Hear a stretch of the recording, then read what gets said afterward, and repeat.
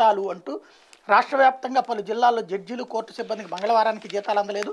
ఇప్పటివరకు జడ్జీలు సిబ్బంది జీతాలకు ఎప్పటికప్పుడు చెల్లిస్తున్న రాష్ట్ర ప్రభుత్వం ఫిబ్రవరిలో కొన్ని చోట్ల ఇంకా ఇవ్వలేదు.